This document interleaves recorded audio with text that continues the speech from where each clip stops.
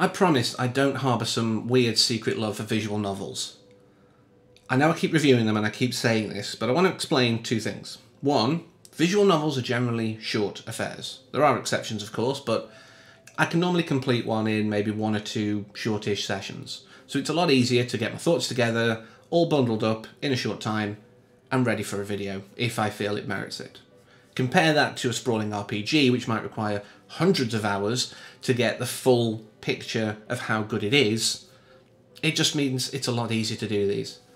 Secondly, I'm calling what I consider the cream of the crop. I know people's preferences are different, that's fine. But these are ones that have hooked me either in gameplay or synopsis or concept.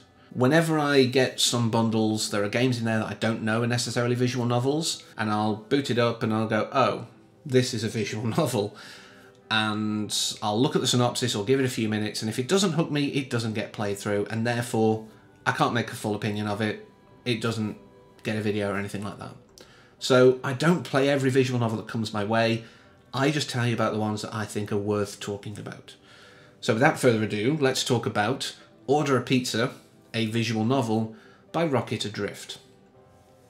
And this one was a unique premise hook for me.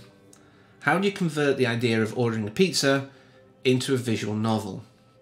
This could either be a really silly, fun parody of the genre, or it could be something really deep hidden under a very throwaway, flimsy, fun title. And it's kind of both. It is very silly on the surface.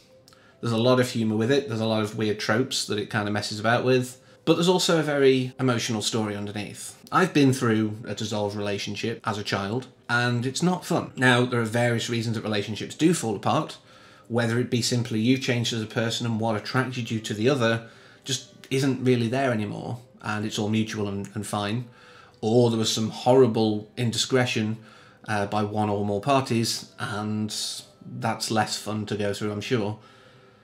But always in this, the, I guess the casualties, the collateral damage, if you will, tend to be the children. And it's very important that the children in these relationships are nurtured and cared for, told they are loved, and also maybe told that this now means double the Christmas presents and birthday presents, because that's a at least a positive for them to take away. But they do need to be reminded that it's not their fault, it's not something they've done. A lot of children feel that.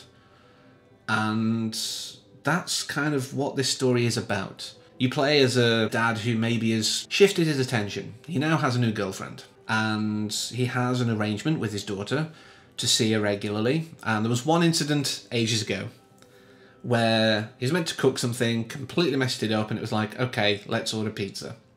So now that's become part of their ritual, I guess.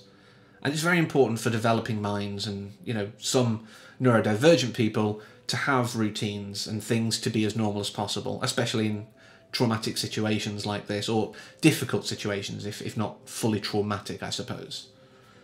So when that's all messed about because you messed up the dates and got your girlfriend over, there's going to be tension. So this then is a game about reconciling those two worlds. But like I say, there is a lot of fun and silliness. The first run through, it's just like, oh, make sure you know what you need to know before you order the pizza. So it's like, okay, daughter says the usual, can probably find hints of what that was. Oh, there's a picture of us eating pizza, right, it's that. Talk to the girlfriend, oh, she's allergic to something, make sure I don't put that on. Order the pizza, ended up killing her because she's got celiac and forgot to tell me that.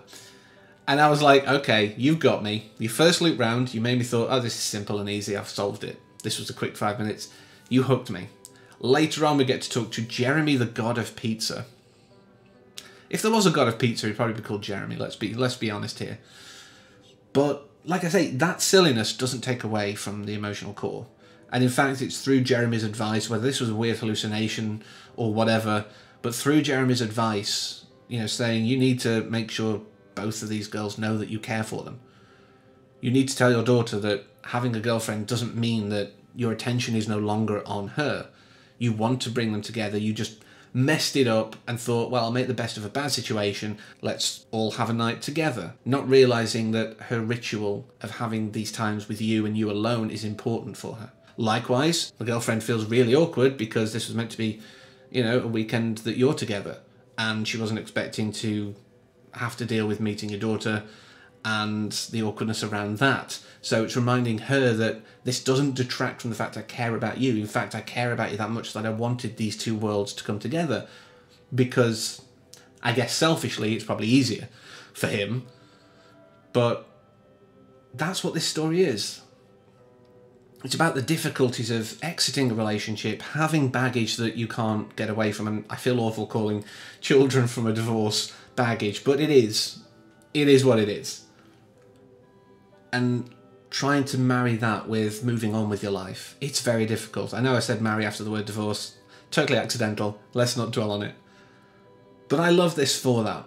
And like I say, that's what a visual novel has to be to me to hook me. It has to be something interesting and unique and different. And I've never played a game ever before, and I probably won't play one since, where I talk to a god of pizza. So if nothing else alone, it's given me that. But even though I've told you all of the story beats and the emotional core of it, I still recommend you play it yourself, at least to kind of have this experience of feeling like your world's getting turned upside down constantly. Because it isn't just a straight route to the end, of course it isn't. There's a lot of mind bending moments which are just really fun to play through firsthand. So that's all I want to say about it. So until next time, as always, thank you for watching, take care, and eat pizza.